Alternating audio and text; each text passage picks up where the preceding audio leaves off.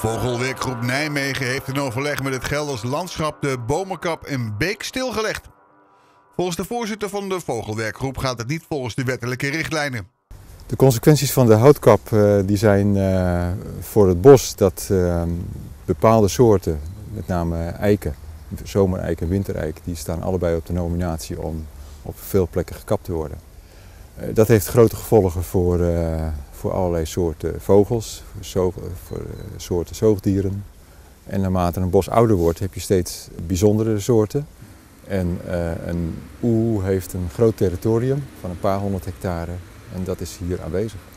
Wij weten van uh, gegevens van vorig jaar dat er hier een oer zit. We hebben een jonge oer gevonden hier vlakbij.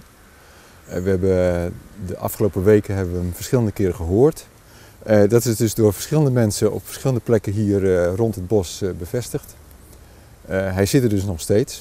En ja, dat is een hele bijzondere soort. Die komt in Nederland eigenlijk alleen maar aan de randen voor, in Zuid-Limburg en in de Achterhoek. En oude, grote, aaneengesloten bossen, die zijn wel degelijk ook een plek waar uh, kan broeden. Als je hier uh, het bos dus ingrijpend kapt, zoals het Gelderland landschap van plan is, dan is de oer voorlopig hier niet welkom.